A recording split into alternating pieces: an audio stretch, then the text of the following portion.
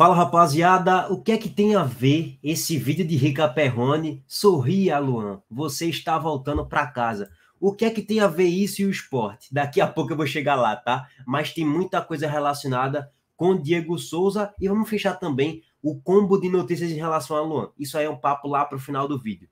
Primeiro, rapaziada, queria trazer aí para vocês em tela as probabilidades de acesso, tá? O GE postou hoje uma matéria em relação as probabilidades, né, a chance de acesso e de título dos times da Série B. O primeiro vem o Vitória, por razões óbvias, é o líder, terminou o primeiro turno na liderança, com 37 pontos, é o campeão simbólico aí do primeiro turno, é, com 67,5% as chances de acesso. Concordo, acho que é bem por aí. Eu, eu, eu subiria um pouquinho, na verdade, subiria para 75% de chance de acesso mas ok, 25,6% de chance de título. Subiria também um pouquinho ali para uns 35, 40% de chance de título, tá?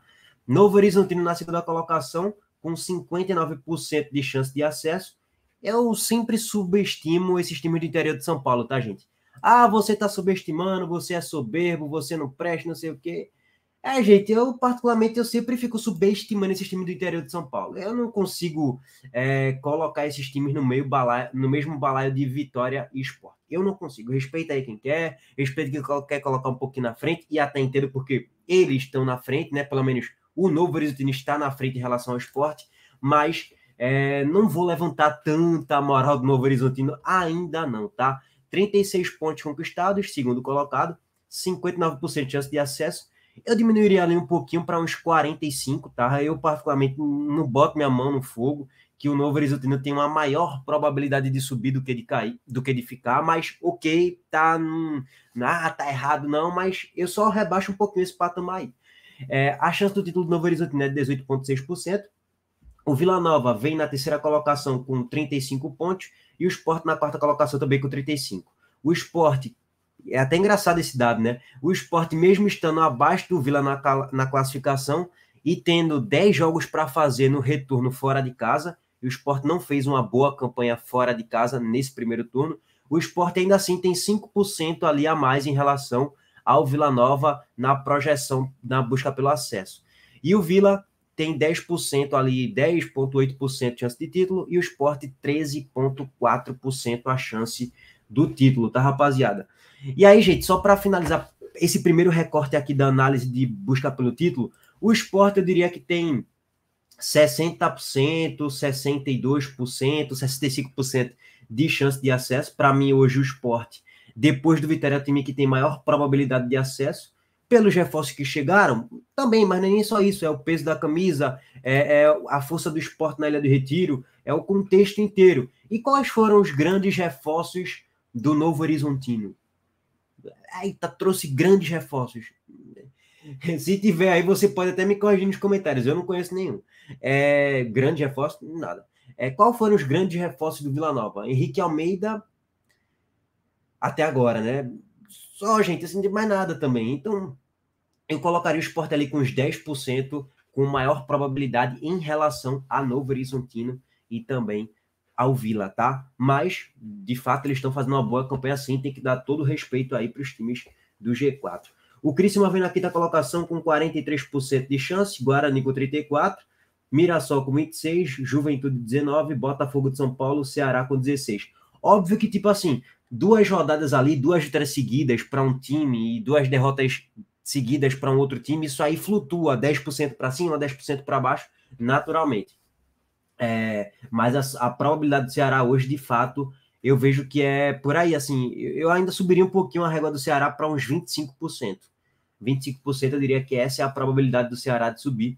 Ceará, de fato, se afundou na Série B e vai ter que tirar sete pontos aí do esporte, que é o quarto colocado hoje, o que é algo difícil de crer hoje, tá? Hoje não mostra muitas perspectivas o time do Ceará que vai engatar uma sequência de vitórias e tal. Já falei isso aqui no vídeo anterior, o Ceará vai ter que ganhar pelo menos 12 jogos para subir. Se a projeção continuar mais ou menos assim, 12 de 19, ter que empatar uns 4 jogos ali, 3 jogos pelo menos, e perder uns 3 só no segundo turno.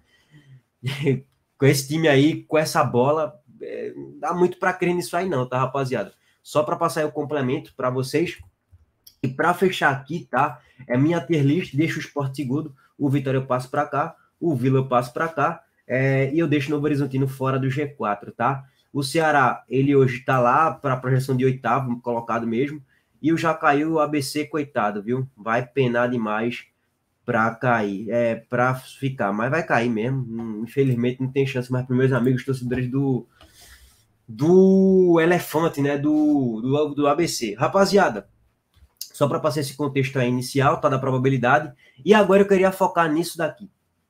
Sorria, Luan, você tá voltando para casa e tal. É um vídeo de Rica Perrone, e eu já adianto.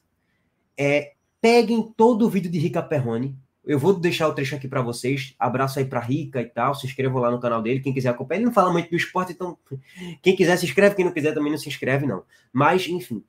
É... O vídeo de Rica sobre Luan, você troca a palavra Luan e coloca Diego Souza. Você troca a palavra Grêmio e coloca esporte. Quando ele falar a torcida do Grêmio, encarem como a torcida do esporte. Quando ele falar Luan, encare Diego Souza é basicamente a mesma coisa. Óbvio que é, Luan ainda tem 30 anos, óbvio que os contextos são diferentes. Diego Souza tem muito mais bons momentos no recorte recente do que Luan. Óbvio que Diego Souza está se aposentando já na próxima temporada ou nessa ainda. Luan ainda tem uma carreira, teoricamente, mais 5, 6, 7, 8, 9 anos, sei lá. Eu sei que são contextos diferentes. Luan está uma tiriça aí há um bom tempo, mas o contexto da análise de Rick é o mesmo. Primeiro, gente, financeiramente, Vamos a... E só para colocar o contexto mais uma vez sobre Luan, né? Augusto Carreira até falou, ó, oh, é, dez dias atrás no podcast Embolada. Agora a gente já tentou buscar Luan, já tentamos, tentamos e não deu certo. Agora, se Luan quiser vir jogar aqui, ele de fato vai ter que nos procurar. A gente não vai atrás dele, não. E acabou que Luan não fechou com o esporte. Ele tá indo lá pro Grêmio, tá? Eu, como torcedor do esporte, analisando a contratação de Luan, eu não acho que foi uma boa, não. Assim, uma boa, quando eu falo, é é, eu não acredito que ele vai performar, não vai jogar muito bem, não. Agora, é, eu não sou torcedor do Grêmio, né? O torcedor do Grêmio provavelmente está gostando. O salário é 50 mil reais com produtividade, bonificações se ele performar. Então, se ele jogar bem, o Grêmio vai ganhar muito. Se ele jogar mal, o Grêmio vai perder pouquíssimo. Então, existe ali sim uma possibilidade do Grêmio ter um bom, uma boa, um bom retorno técnico e retorno financeiro com o decorrer aí da temporada, tá? Se Luan jogar bem, Copa do Brasil, enfim. Beleza, eu não vou focar no ano Grêmio, não, tá, gente? O ponto agora é para trazer o seguinte. Primeiro que é, Rica fala sobre a questão financeira, né? Rapaziada, Diego Souza mais uma vez, tá? Primeiro dia, mil camisas vezes 300 reais, 300 mil reais. E aí? Precisa ter mais nada, né? É, só no primeiro dia de venda de camisa, provavelmente ele ia vender um número muito bom. Óbvio que esses 300 não ia cair no bolso do esporte amanhã. Óbvio que não, tem a Umbro e tal, tem todo o contexto aí. Mas Financeiramente é um negócio viável. Diego Souza é craque. Se ele jogar 50% do que ele sabe, ele ajuda demais na Série B com pelo menos quatro gols. Então, assim, é, tá voltando para um ambiente que a torcida ama ele, que vai tolerar mais ele, vai aguardar mais. E óbvio, né? Esse aguardar mais é também se o esporte estiver bem na Série B, vai ter mais paciência com o Diego Souza. Ele pode errar muito mais aqui do que em outro clube do futebol brasileiro. Óbvio que também Diego Souza veio para cá, porque não tem nesse momento nenhum outro clube interessado do patamar do esporte no mercado da bola, né? Então, eu sei que tem todo um contexto. Agora, dito tudo isso, eu acho que tem opções melhores no mercado para o esporte trazer. Por exemplo, já já chegaria para ser titular absoluto quando o Juba sair e tal. É, Poveda, pô, hoje Poveda eu depositaria mais fichas em Poveda do que em Diego Souza. Luca é um cara mais multifuncional, vamos dizer assim. Agora é aquele Diego Souza agrega no marketing, venda de camisa, sócios, ingresso público, dinheiro, então é viável. Que é viável isso aí, de fato, é, não tem como negar, não. Mas eu vou deixar o vídeo de Rica Perrone e mais uma vez encarem Luan é, como se fosse Diego Souza e a torcida do Grêmio como se fosse a torcida do esporte. Só. Para mim, o resto é a mesma coisa. Tamo junto, abraço aí para todo mundo. A gente volta mais tarde. Valeu. O que, que falta pro Luan? Qual, o que, que pode motivar o Luan? Né? O que, que pode motivar o Luan é a torcida do Grêmio. Não tem absolutamente nada que possa motivar esse menino, porque a torcida do Corinthians não mexeu com ele. Né? A torcida do Santos não mexeu com ele, a seleção brasileira, é, como uma nova, antiga meta, não mexeu com ele. O que, que pode fazer que esse menino dá um estalo nele e ele. Talvez o fato de estar no Grêmio botar aquela camisa e falar, cara, aqui eu não preciso provar. Eu preciso só me recuperar, porque eles estão me dando apoio, eles estão me dando condição, todo mundo aqui sabe o quanto eu jogo. Eu sou um ídolo aqui, independente do que eu faça. E isso é uma condição muito rara, isso é uma condição muito difícil do jogador ter. Você ir para um lugar onde você tem calma e a paciência para se recuperar. Por quê? Porque o torcedor te ama. E o torcedor do Grêmio ama o Luan. Independente do torcedor considerar boa ou ruim a contratação, vai ter gente que acha ruim, tem gente que acha boa, tem gente que acha arriscado, tem gente que pegou raiva porque ele saiu do Grêmio jogando mal, enfim. Cada um tem a sua posição, mas no fundo, todo torcedor do Grêmio tem uma relação de gratidão muito fodida com o Luan. É, o, o, Luan deu uma Libertadores pro Grêmio sendo protagonista disso, jogou uma Copa do Brasil também muito bem. É, o Luan foi o melhor jogador da América do Sul em 2017. Então você não pode pegar um jogador desse que está na história do Grêmio, chamado de reizinho, não é à toa, pelos, pelos tricolores lá do Sul. É, você não pode pegar a história do jogador desse e tratar ele como um jogador qualquer. Talvez o Luan, se ele chamasse Joaquim e não tivesse essa história, seria um absurdo o Grêmio lá e contratar um jogador que há anos não está mostrando que está tá funcionando. Talvez, talvez fosse. Agora, um jogador que você sabe que é craque, o Luan é craque. Que você já tem uma relação fodida no teu clube, com a torcida. No mínimo, camisa tu vai vender pra caralho. Ou seja, o que o Luan vai ganhar de salário base antes da produtividade, só de camisa ele paga. Tá? Então já não é prejuízo, não é investimento errado, nem nada disso. Não se sabe de momentos em que o Luan tumultuou o elenco, etc, etc. Então, mal grupo, o Luan também, em tese, não faz. E dificilmente vai fazer. Algum jogador vai ser um, um problema no elenco do Renato. A gente sabe como é que o Renato é é, com os jogadores. Então, porra, se o próprio Renato tá dizendo, não, não, vem, traz de volta que eu quero, eu quero tentar arrumar ele e tal. Ele tá ouvindo tudo que ele tinha que ouvir. Tá aqui a torcida que te ama, tá aqui o clube que você cresceu, o lugar onde você não vai ser cobrado, você vai ser motivado. Se você errar, a torcida, pelo menos nos primeiros meses, vai aplaudir. Né? Então, tudo aquilo que é, o, o, o, o Luan precisa, só o Grêmio pode dar nesse momento. Então é ótimo para os dois. Eu não vejo nenhuma possibilidade de ser um mau negócio. Tá? A não ser que o Luan cometa um, uma barbaridade lá no Grêmio, coisa que né, no histórico dele não tem. Você pagando um salário justo por produtividade num jogador que você sabe que se explodir ele resolve o teu problema, porque o Luan, se o Luan jogar 80% do que ele pode, o Grêmio está disputando o título brasileiro.